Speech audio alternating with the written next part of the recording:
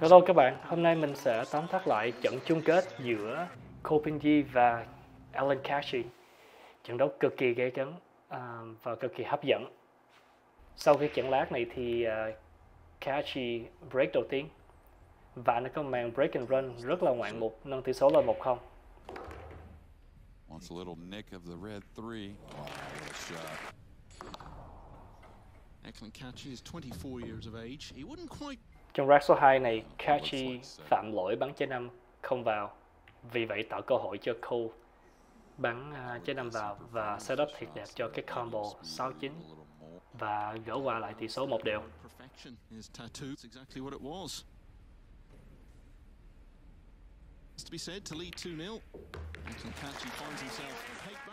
Rack số 3 này, Copenhagen lại có một cơ hội bắn combo trái chính để mà thắng cái game rất là nhanh gọn lẹ và nâng tỷ số lên 2-1.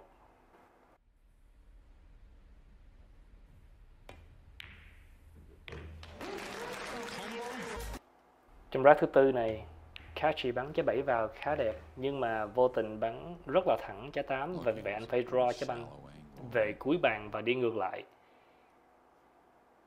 Trái chính không dễ dàng chút nào nhưng mà anh đã bắn thành công và lại gỡ hòa tỷ số 2 đều. Trong game thứ năm, Cole đang dẫn trước với tỷ số 3-2 và anh có một cái bàn mở rộng khá đẹp để mà kết thúc cái ván này. Tuy nhiên sau khi bắn trái ba thì Cole lại vô tình bắn không vào trái thứ tư. Và vì vậy tạo cơ hội cho Kashi thắng game này và nhích lên dẫn tỷ số 3-2. Đây là rack số 6, tỷ số đang là 3 đều. Thì Kopenji phạm lỗi khi mà cố bắn trái xếp tiền, muốn bắn trái hai đụng trái 8 để mà giấu với banh nhưng mà thất bại. Thành ra để lại cơ hội cho Kashi.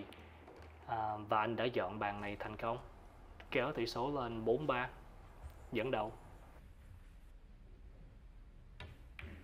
We all know he's got the power game, but now he seems like uh, trong rack số 8 này, Kashi đang dẫn trước với tỷ số 4-3 và Kopenji có một bàn rất là khó nhưng mà anh đã hoàn thành rất là ngoạn mục và gỡ hòa tỷ số 4 đều, một trận đấu rất là sát nút, chưa phân được thắng bại đâu hết. So far in this final, there's been nothing between them. It's going to be the same again. Who'd pick a winner now? Saw the odds pre-match, they were dead level. And they are in the scoreline now. It's trong rack số 9 này một tình huống rất là khó khăn để mà chạy bi từ trái 8 tới trái 9 vì nó quá thẳng.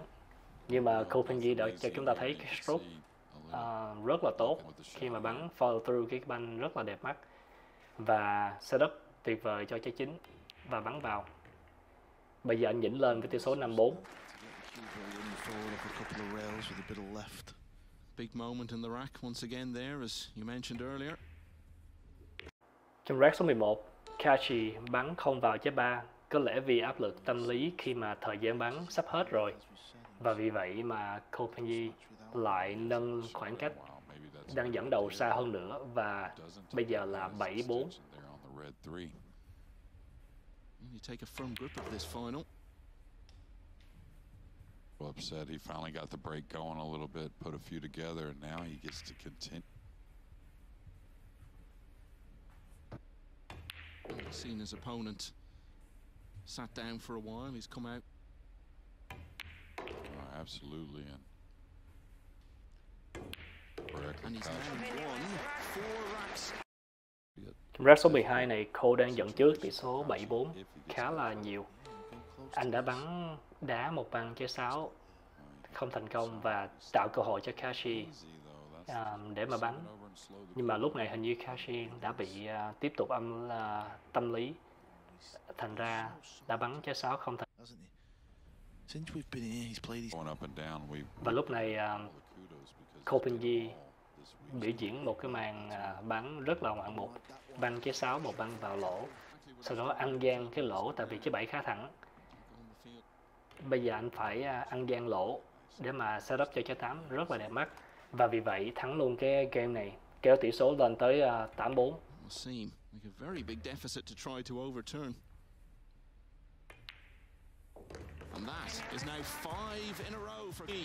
Trong game kế tiếp, Cole mém bắn cho ba hụt nhưng mà đã vào lỗ và anh đã có một cái break and run kéo dài tỷ số lên tới 9-4 bây giờ.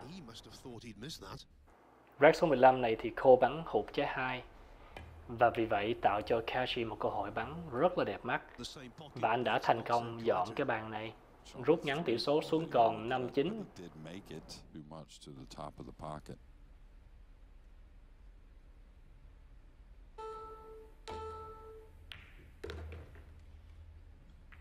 Super nice.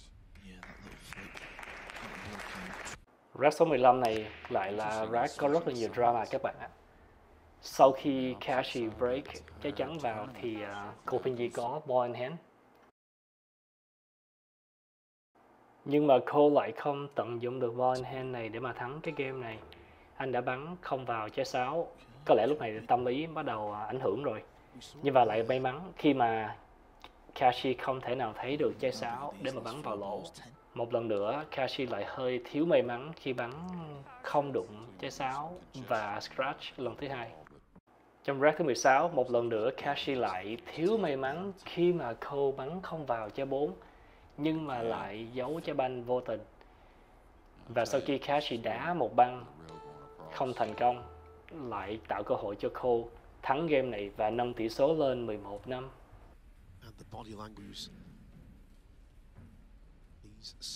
Trong rack số 17 này lúc này chắc là tâm lý Kachi không còn vững nữa rồi, nên anh lại bắn à, hụt một trái năm. Slow it down. Tuy trái này khá khó, nhưng mà chúng ta cũng mong đợi anh có thể bắn với cái này vào.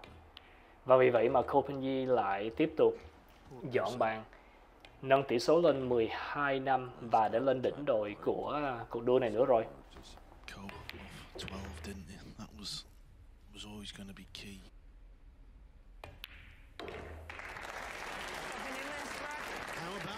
Rack số 18 này tỷ số là 12 năm và Cole đã break rất là đẹp mắt. Lúc này thì anh chỉ cần bắn trái hai vào thì à, vị trí trái 3 trái 9 khá là nguy hiểm ở phía dưới đấy.